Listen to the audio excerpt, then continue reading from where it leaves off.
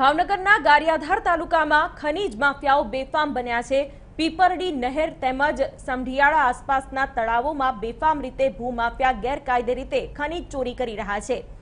નદીમાંથી એક સાથે દસ ટ્રેક્ટરો અને ડમ્પરો રેતી ચોરી કરી રહ્યા છે જેનો વિડીયો પણ વાયરલ થયો છે તેમ છતાં પોલીસ કે ખાણ ખનીજ વિભાગ દ્વારા કાર્યવાહી કરવામાં નથી આવી અધિકારીઓ પણ જાણે આ ભૂમાફિયાઓ સાથે મળેલા હોય તેવા દ્રશ્યો જોવા મળી રહ્યા છે ત્યારે સ્થાનિકોનું કહેવું છે કે ખબર હોવા છતાં તંત્ર પોતાના મળતિયાઓને રેતી ખનન કરતા નથી અટકાવી રહ્યા.